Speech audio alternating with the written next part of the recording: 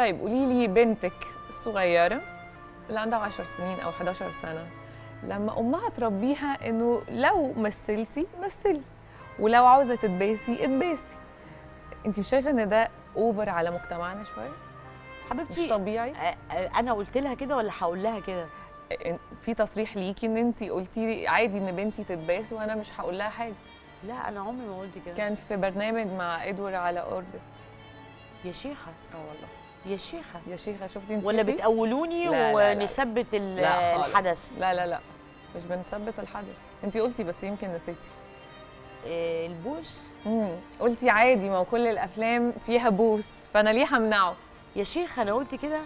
الواحد بيقول حاجات وينسى برضه. فعلا؟ آه. انت شايفة إن ده عادي؟ الصدق بيبقى واخد الواحد برضه.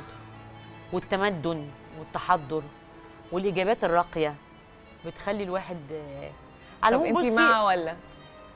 هو بصي أنا بشوف أفلام أجنبي كتير مم. فشايفه إن البوس عادي يعني مش مم. موضوع يعني مم. يعني مش اتباست يا لهوي لا ما ما عنديش كده يعني مم. يعني بقعد أتفرج بالعكس أفلام أجنبي بتعجبني جدا.